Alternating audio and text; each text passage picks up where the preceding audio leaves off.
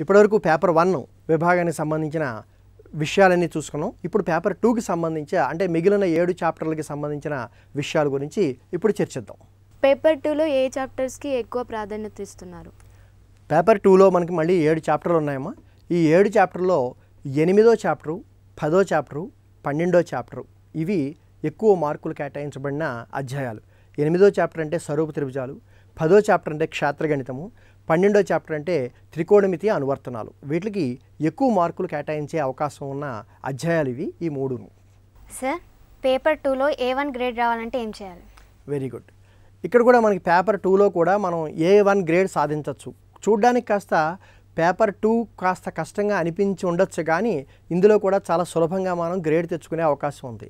ఎనిమిదో చాప్టర్ అంటే స్వరూప త్రిభుజాల చాప్టర్ని మనం పూర్తి స్థాయిలో చేసుకుని మరి పదో చాప్టర్ క్షేత్రగణితం క్షేత్రమితి అనే చాప్టర్ని పదమూడో చాప్టర్ సంభావ్యతని పద్నాలుగో చాప్టర్ సాంఖ్యక శాస్త్రం ఈ నాలుగు అధ్యాయాలని కనుక మనం బాగా చేసుకున్నట్లయితే రెండు గ్రూపుల్లోనూ కూడా సరిపోయే విధంగా మనం ప్రశ్నలు రాయొచ్చు.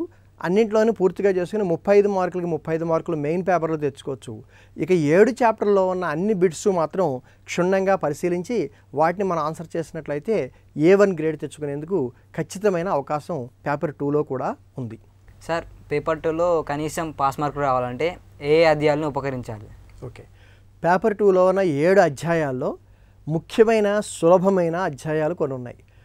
పదమూడో అధ్యాయమైన సంభావ్యత పద్నాలుగో అధ్యాయమైన సాంఖ్యక శాస్త్రం. ఈ రెండు అధ్యాయాలు చాలా సులభమైనవి. ఈ సులభమైన అధ్యాయాల నుంచి కూడా మనకు ఒక దాదాపుగా ఒక ఇరవై మార్కులు దగ్గరగా వచ్చే అవకాశం ఉంది. ఇది కాకుండా ఒక నిర్మాణం. ఇందాక మనం మొదటి పేపర్లో గ్రాఫ్ చెప్పుకున్నట్టుగానే ఇక్కడ నిర్మాణం. నిర్మాణాన్ని కనుక మనం చేసుకున్నట్లయితే ఆ నిర్మాణం పూర్తిగా ఒకసారి కనుక మనం చేసినట్లయితే నిర్మాణ విభాగాన్ని ఇంకెప్పుడైనా మనం చేయగలుగుతాం. దీనికి మళ్ళీ ఐదు మార్కులు ప్రశ్నగా మనకి కేటాయించే అవకాశం ఉంది. అంటే ఇరవై ఐదు మార్కులు ఇక్కడికి మనకి ఇందులో సులభంగా మనం సంపాదించుకునే మార్గం ఇది. ఇది కాకుండా పేరున్న తీరాలు కొన్ని ఉన్నాయి. ఆ థేల్స్ తీరం అని తర్వాత పైతాగరస్ తీరం అని ఇలాగ పేరున్న తీరాలు వాటి యొక్క విపర్యయాలు వీటిని కనుక మనం బాగా అధ్యయనం చేసినట్లయితే దానికి కూడా మనకి మార్కులు వచ్చే అవకాశం ఉంది. దాదాపుగా ముప్పై మార్కులు ఇందులోంచి మనం సంపాదించుకునే అవకాశం ఉంది. మొదటి పేపర్ రెండో పేపర్ కలిపితే ఫస్ట్ క్లాస్ మార్కులు సంపాదించుకునే అవకాశం కనీసం పాస్ కాదు కనీసం ఫస్ట్ క్లాస్ సంపాదించుకునే అవకాశం ఈ రెండు పేపర్ల నుంచి ఉంది. సార్ కన్స్ట్రక్షన్స్ చేసేటప్పుడు తీసుకోవాల్సిన జాగ్రత్తలు ఏంటి? ఇదొకటి చాలా ఇంపార్టెంట్ అమ్మా. కన్స్ట్రక్షన్ అనేది రెండు విభాగాలు రెండు ఉన్నాయి మన కన్స్ట్రక్షన్స్. స్వరూప త్రిభుజాల్లో స్వరూప త్రిభుజాన్ని అనురూపంగా నిర్మించడం ఒకటి. ఇక రెండవది ఏంటంటే స్పర్శరేఖ నిర్మించడం ఒకటి. ఈ రెండు నిర్మాణాలని కూడా చేసినప్పుడు నిర్మాణానికి ముందుగా చిత్తుపటం గీయాలి. చిత్తుపటం గీసిన తర్వాత నిర్మాణాన్ని చేయడం సరైన కొలతలతో సరైన విధంగా అందంగా కన్స్ట్రక్షన్ చేయాలి. ఈ కన్స్ట్రక్షన్ పార్ట్ కానీ త్రిభుజం కానీ బొమ్మ కానీ వేసేటప్పుడు స్కేలు పెన్సిలు మాత్రమే వాడుకోవాలి. వాటితోనే చేయాలి. ఇక కన్స్ట్రక్షన్ పూర్తయిన తర్వాత నిర్మాణ సోపానాలు రాయాలి. ఇది మూడో విభాగం.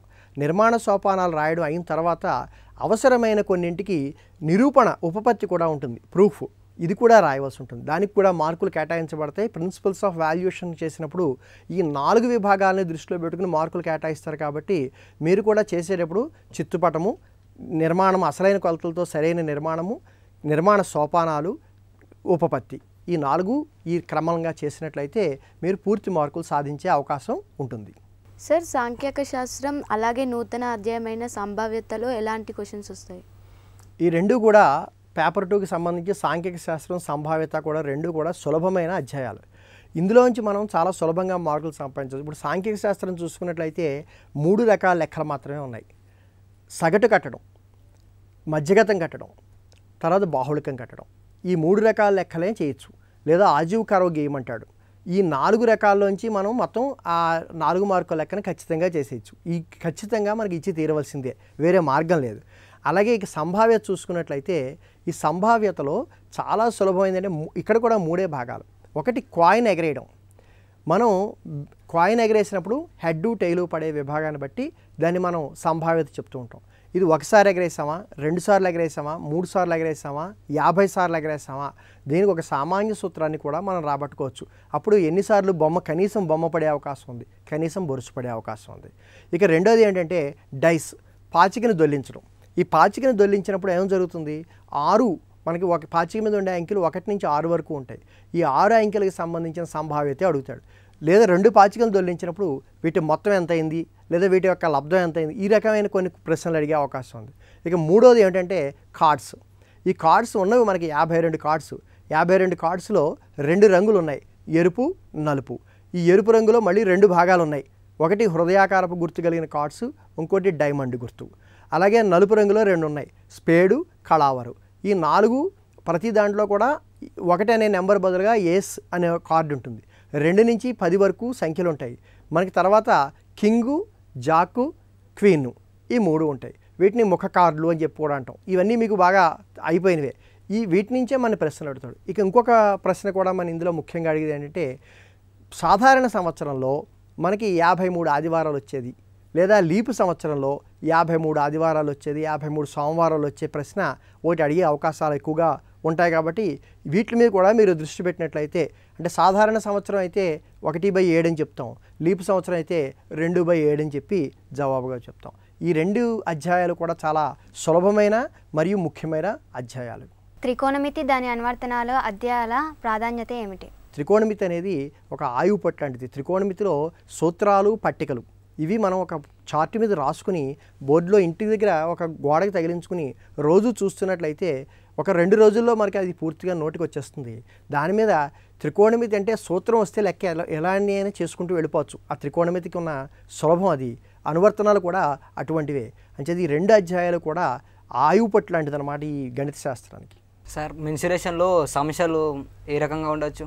మెన్సురేషన్ అంటే క్షేత్రగణితానికి సంబంధించి సమస్యలు ఏముండొచ్చు ఇక్కడ క్షేత్రగణితం అంతా కూడా మనకి పదో తరగతికి సంబంధించిన క్షేత్రగణితం త్రీ డైమెన్షనల్ ఫిగర్స్ ఎక్కువగా ఉన్నాయి. అంటే స్తూపము శంకువు గోళము అర్ధగోళము వీటికి సంబంధించినవి.